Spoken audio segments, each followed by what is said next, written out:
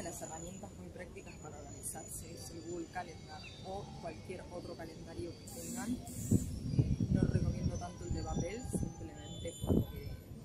muchas veces no abrimos el papel, podemos anotar cosas, nos sirve para descargar la idea ahí, pero después no lo volvemos a ver o pasan las hojas y queda atrás. Es lo mismo que con los emails, quedan ahí volando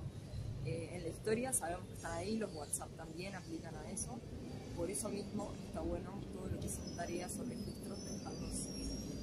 tablero Trello que es para organización de tarea, Asana, TNP, eh, una hoja de cálculo donde tengan todos los datos de las tareas que tienen que llevar a cabo, pero lo importante es que tenga fecha de vencimiento, responsable, recursos necesarios para llevar la tarea a cabo. Ese tipo de conceptos hacen que mm, seamos más sinceros a la hora de planificar una tarea y no quizá anotarlo y pensar que ya lo delegamos o ni siquiera anotarlo y pensar que lo delegamos. Eh, ese tipo de registros está bueno que sean en común, que no sean individuales, que se puedan trabajar en equipo para